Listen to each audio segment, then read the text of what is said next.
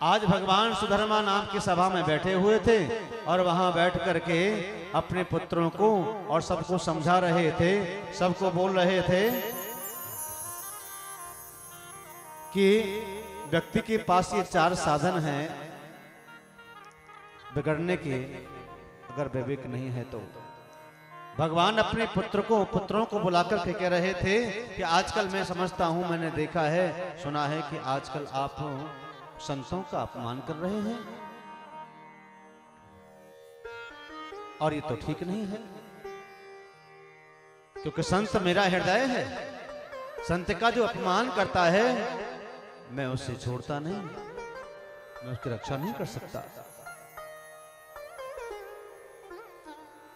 लेकिन भगवान के पुत्रों ने ये बात मानी नहीं, ध्यान नहीं दिया तो एक बार जामवती का पुत्र था, जिसका नाम था सांब जो शिव और पार्वती की कृपा से प्राप्त हुआ, जो बहुत सुंदर था।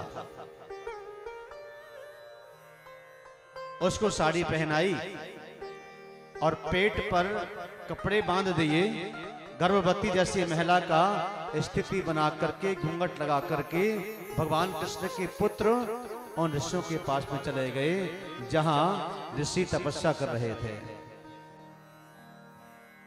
कि विश्वामित्रों असित कंडवो दुर्वासा भ्रगुर अंगिरा, कश्यपो वाम देवो वत्री वशिष्ठो नारदाय। कौन कौन ऋषि थे? विश्वामित्र। असित। कंड ऋषि। दुर्वासा ऋषि, भृगु ऋषि, अंगिरा ऋषि, कश्यप जी वामदेव जी और वशिष्ठ जी, अत्रि ऋषि और नारद जी। ये तपस्या कर रहे थे। संतों की पहचान करने के लिए, परीक्षण करने के लिए सांब को जनानी साड़ी पहना करके और गर्भवती जैसी स्थिति बना करके पेट पर कपड़ों का पोटला बाँध करके जाकर के खड़े हो गए। और भगवान कृष्ण के पुत्रों ने कहा उन ऋषियों से कि महात्मा जी बताइए, इस स्त्री के गर्भ से पुत्र होगा या पुत्री? ऋषि समझ गए कि हमारा उपहास कर रहे हैं।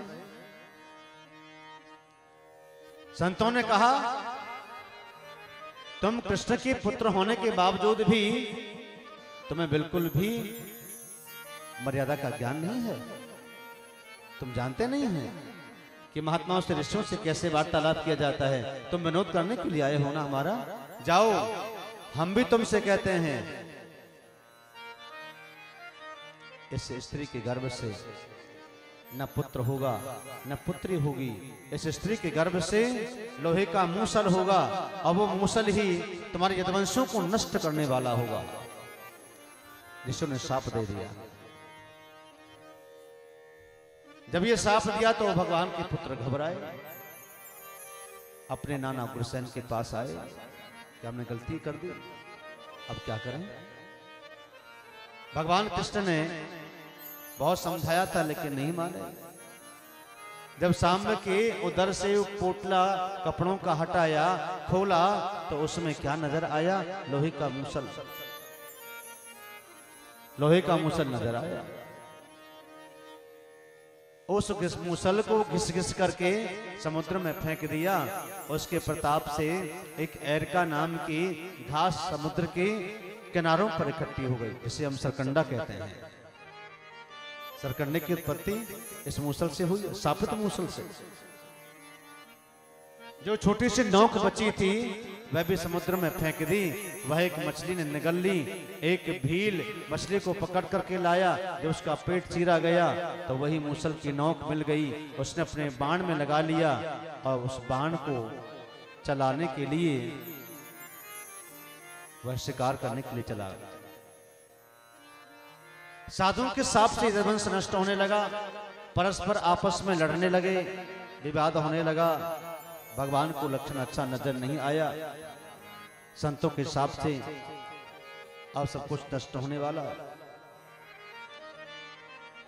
भगवान ने अपने दारुक नाम की सारथी को बुलाया और कहा कि जाओ, यदवंशों से कह दीजिए कब मेरी द्वारिका समुद्र में विलीन हो जाएगी।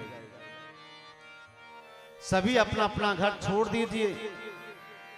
भगवान एक वन में पीपल की वृक्ष के नीचे अर्धसेना अवस्था में लेटे हुए थे। उल्टे पैर के ऊपर अपना पैर रख करके तलवा दिख रहा था।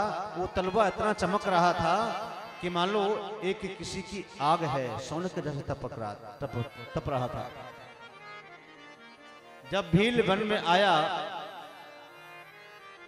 तो उस भील को लगा कि कोई हिरण की आँख चमक रही है। उसने वही सापित नोक वाला जो बाण लगाया चढ़ा करके भगवान कृष्ण के उस पैर में मारा, रक्त की धार बहने लगी। जब भील समीप में आया तो देखा कि मैंने तो गाड़ी अपराध कर दिया, गलती कर दी।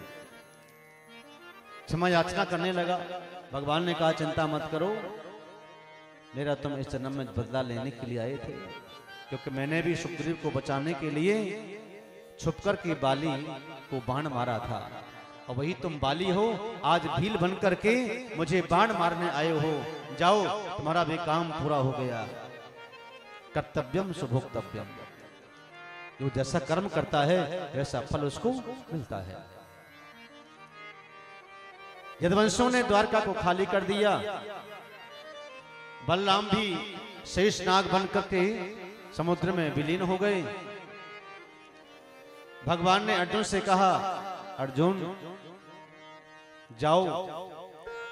मेरी सभी रानियों को ले जाकर के राधा रानी के चरणों में निवास कराओ।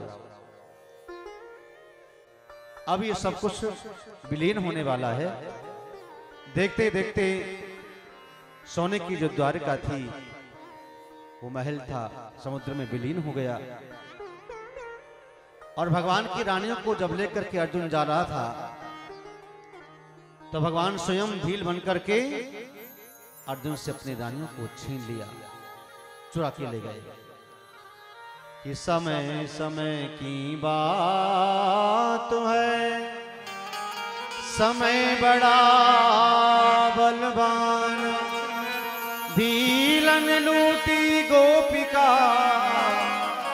वही अर्जुन, वही समय का प्रभाव था, क्योंकि अर्जुन को बड़ा अभिमान था अपने गांडी धनुष पर और बल पर। भगवान ने ये याद कराया कि तुम्हारा बाण की शक्ति, तुम्हारा बल, तुम्हारा गांडी धनुष, ये सब मेरे प्रताप से ही चलाया जा रहा है। भगवान ने अपने रानियों को राधा रानी के पास छोड़ा। देवता आकाश में खड़े हैं, पुष्प वर्षण कर रहे हैं भगवान कब जाएँगे और काम फूलों की वर्षा करें। सब्सक्राइब करें रामकृष्ण शास्त्री जी के YouTube चैनल को और हमारे वीडियोस को सबसे पहले देखने के लिए बेल आइकन को दबाना न भूलें।